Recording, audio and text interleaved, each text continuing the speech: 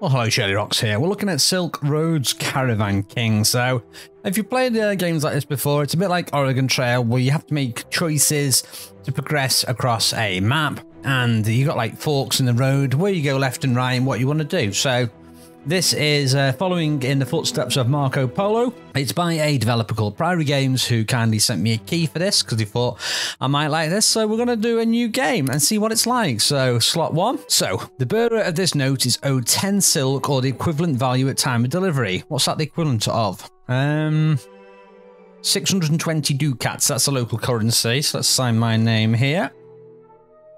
Shirlie Rox and we are going off on our boat. So first of all, we can choose where we want to go. We can go to Constantinople and the steppes, or there's a the onto the Acre in the far east. So it looks like the steppes is open plains with huge distance between cities of tents, and they produce fur and pack animals. And then we've got the Holy Land in the far east, which is densely populated short journeys. And the local goods are ivory. Okay, let's go and try this one. Let's go to the far east. So this represents your supplies for your journey. Running out will cause negative effects. This is your money, which can be used to purchase goods, camels, and interact with events as they appear. Um, current number of camels. So the more intelligence you've got, the more, the more camels you can get. Apparently, I think camels let you, uh, you know, carry more as well. So here we go. Current date there, and the current season. We're in spring apparently we're not meant to had, we're not meant to travel in winter, so um, we need to return to Venice before my contract expires as well. Uh, here's my current weight limit. Um, I guess the more goods we got, does it make us go slower or not? Because it says each good takes up a single space. Hmm. And this is my strength. Well, sorry, my health. Um, high levels of health will allow you to move faster, whereas lower levels of health may end your journey altogether. And you can get health back by resting in cities.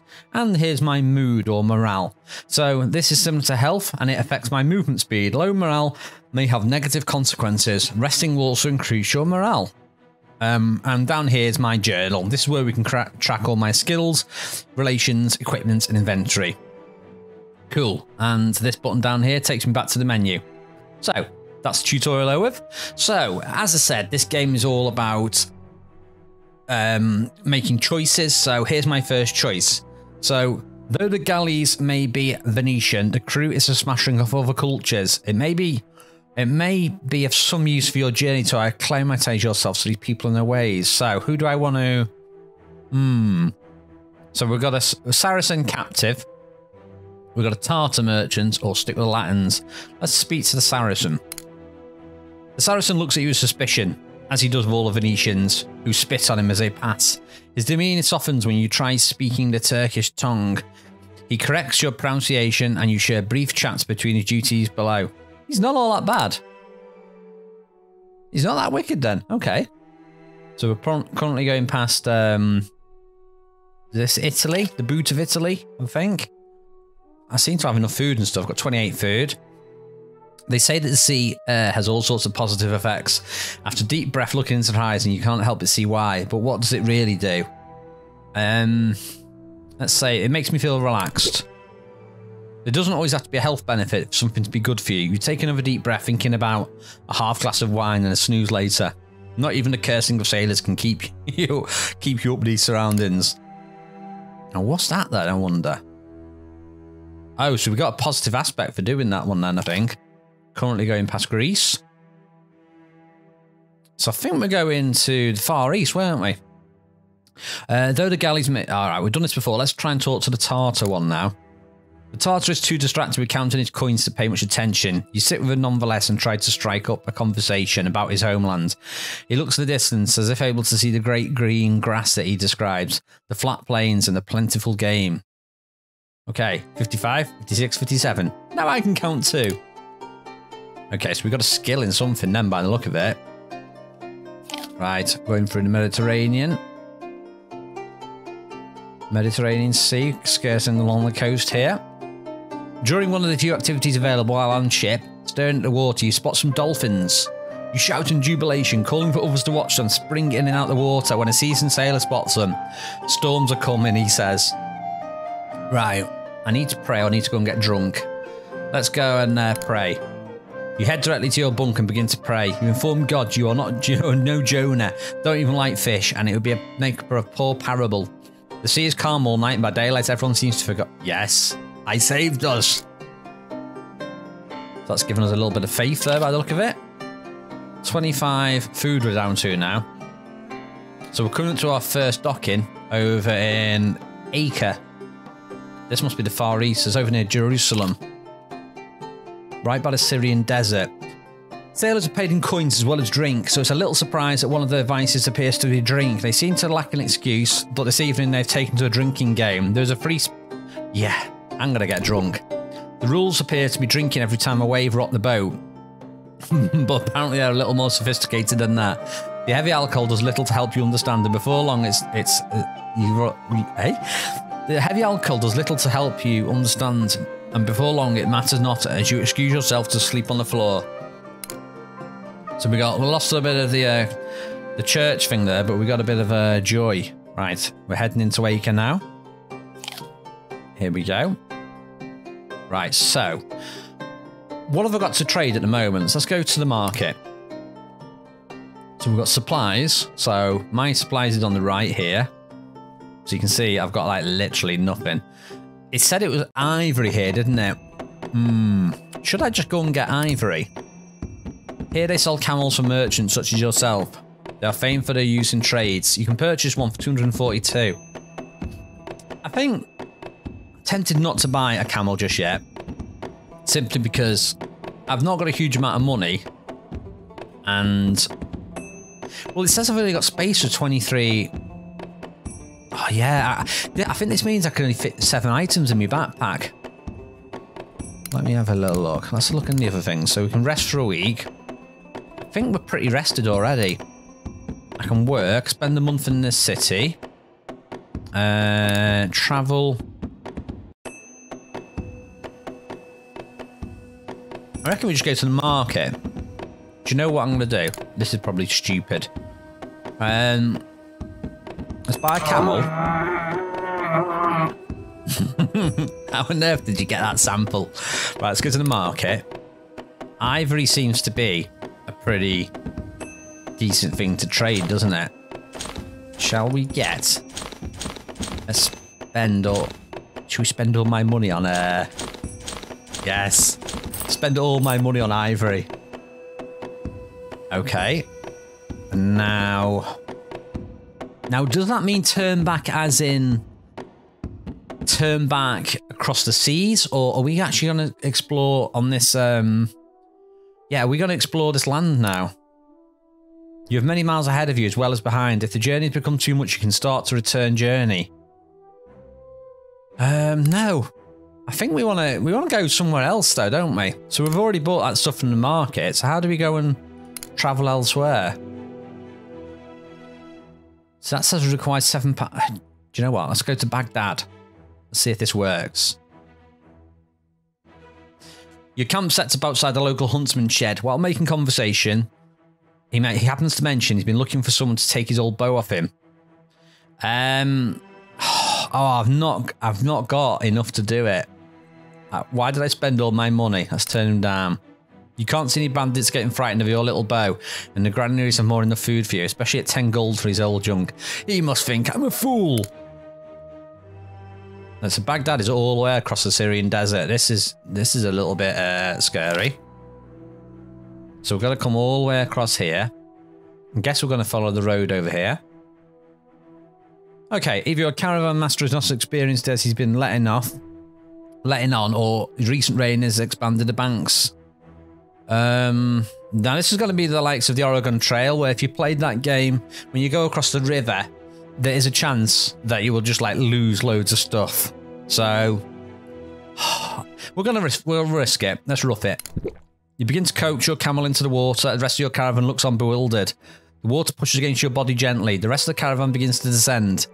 Oh, did I think we're okay? I think we're okay. All right, so I can check check Give me relations there. That's fine.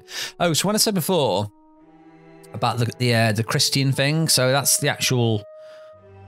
They're the various religious traits, aren't they? So that's what my Christian thing is. So drinking is not becoming of a Christian. So we're to go all the way to Baghdad. We've not met anything dodgy yet, though. This region has seen a great deal of conflict, and the passing armies have supplied themselves from the villages. In response, the locals have taken to hiding their food.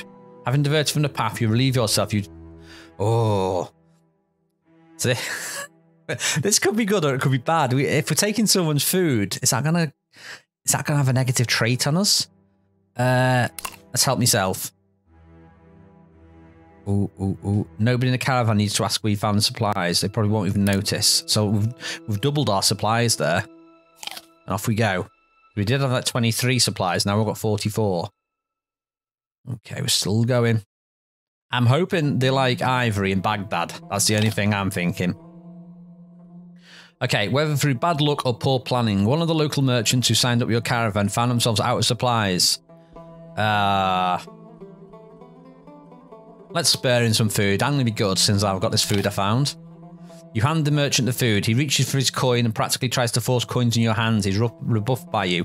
Eventually, he meekly thanks and blesses you. We can all use a hand sometimes. So I got I lost some food. I got some. Uh, is that Turkish? Oh, Islam.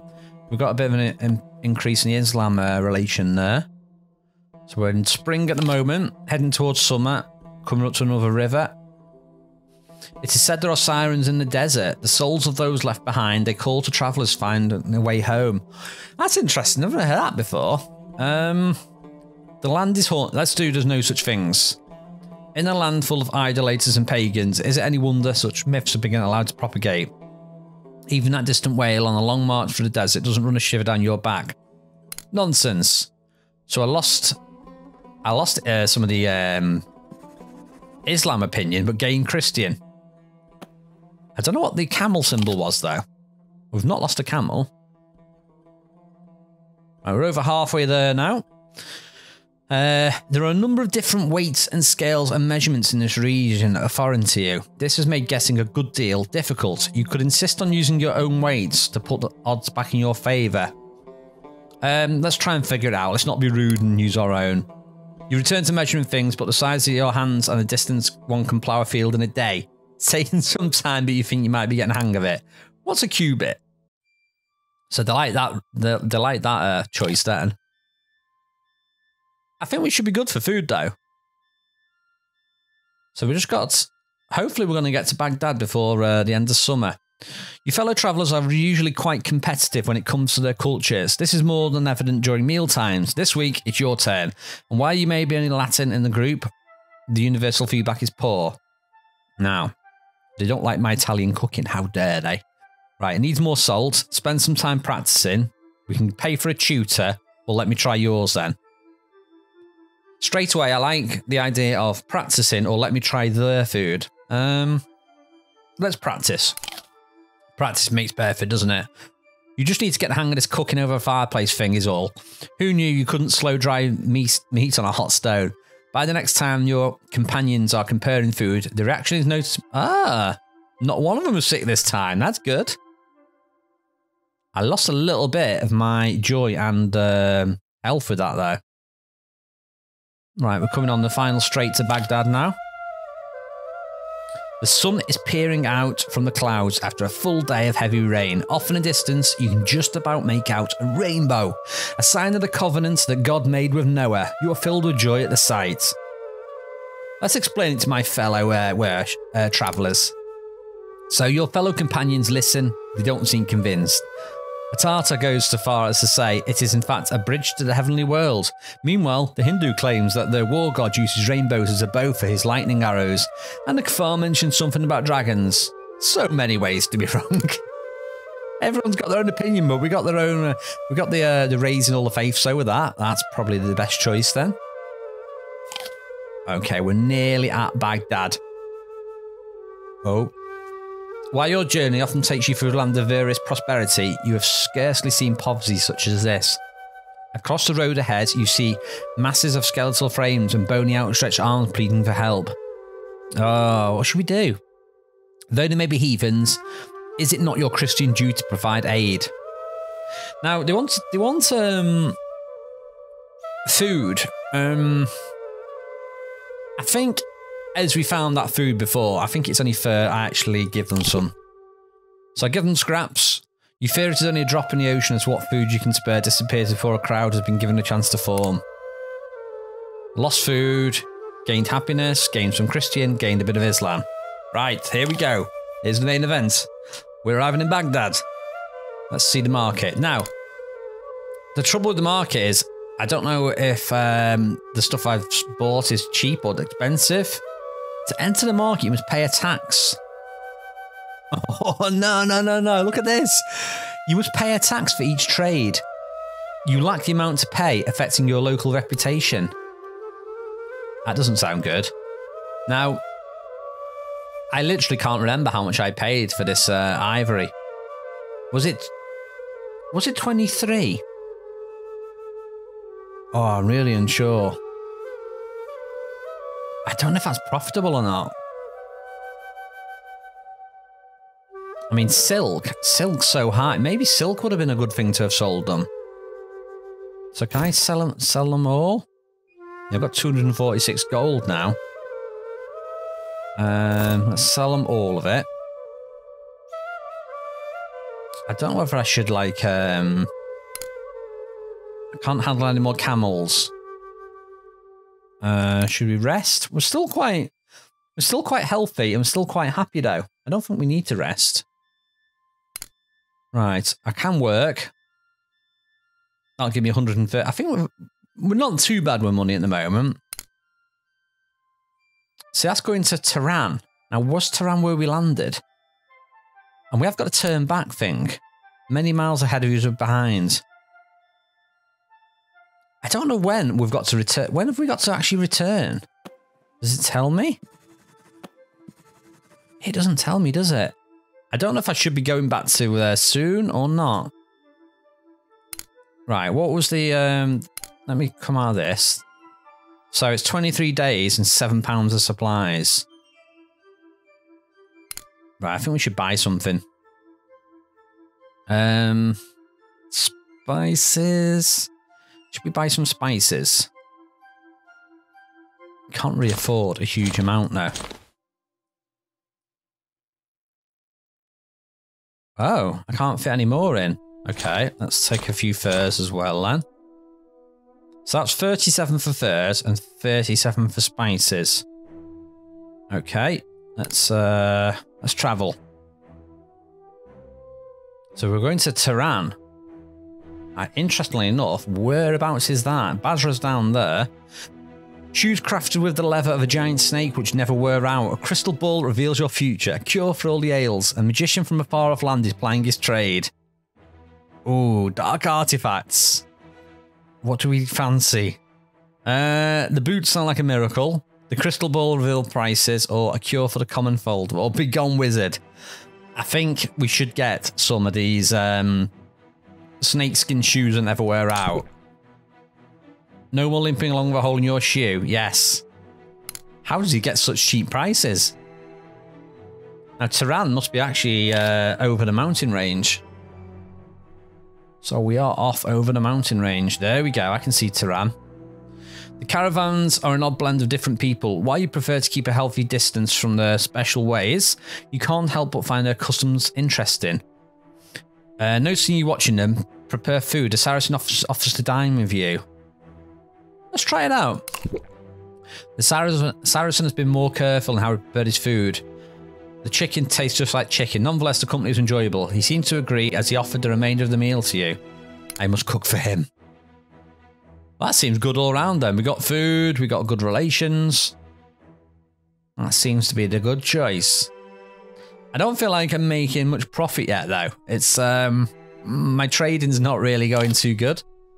So the first new inventory are looking more appealing with each cold night on the road. They are stocked to be bought and sold, but they will do a little good. Um, so I can make a cloak with one, or use and sell them. I know no cold. Well, I think we lost a little bit of health then. A lesser man might need a blanket. The cold has given you something of a sniffle, and waking up to stoke the fires maybe made you a little on edge. It's already, it's going wrong. We've lost some health and we've lost some joy. Are we going to make it to Tehran? So we're heading across the Zagros mountain range at the moment. No bandits though, which is quite good. Um, I think we're going to ignore this thing with Noah. We did this last time. It didn't go well. Yeah, let's not share that. My Christian's increased and my happiness is increased. Let's try and get over this range. I don't know if there's to any. Don't know if there's going to be anything around here to. What's this? An arm wrestling competition is broken out in the camp. You're only Latin among your group and have been unchallenged. Right, so let's do this arm wrestling for Venice then. Let's see how we get on. You rile up the crowd as you descend to battle. Rubbing the dirt in your hands, you set off against the power of his arms. He pushes you. You watch. Oh, we lost. Okay, that doesn't sound good. We lost, but at least we're nearly at Tehran though. I think we're gonna have to start heading back home as well soon. The fellow travellers you ah, we've done this food before, right? Um, we did we did practice in last time. Let's do it needs more salt this time. Not tasting right, salt, too moist salt, too salty salt. You found the universal ingredient save any meal. Okay, so we gained cooking skill, we lost food. Not a bad result, I don't think. And here we go, we're about to arrive in Tehran. Oh, are we going to make it another encounter? No, another encounter. So, you have many companions on the Silk Roads, but are, as are always transient changing caravans from town to town. It dawned on you today, the only consistency is you and your pack. Maybe you should show them to appreciate the company. Uh, let's give them a new, a new saddle. Fellow merchants on the road has a caravan that looks like it will fit your camel perfectly. So I've got me a new saddle. Nice. Looks like we've got extra weight. We got a little bit of a travel experience, and we are in Tehran. Right, let's go to the market. Now, I think definitely the ivory is cheaper here. I don't remember if these are cheaper or more expensive though. I get the feeling these are more expensive. Right, we've got 23 food. I want to see what happens when we do turn back now, because we're going to end this now. I want to see how we actually get back to Venice. So if we do turn back, take me home. Um, let's do I'm certain. So what does it do? You've managed to fact wait a minute. Not yet. So shouldn't that be it? Um, you managed to find a caravan leaving for Baghdad. Let's do travel. Oh, it is, it is travelling back. I guess we need to travel back during autumn and then avoid winter and hopefully get home. Hmm, pretty cool. Anyway, that's all I'm going to show you for now. So this is Silk Road Caravan Kings. Luckily, we didn't seem to run across anything too bad and get ambushed or anything like that at the moment. So yeah, looks pretty pretty interesting. The um, I think it's probably more important to actually make sure you look what the market trade prices are because I wasn't sure if I was making money or if I was losing money there. Um, so that's something that I should really have another look at. So anyway, let me know what you think of this. If you want to see some more of this, let me know on the channel. And don't forget to click bottom right and ring a ding my bell. Drop me a sub if you like the content. And any comments, please feel free. Thank you for watching. See you next time.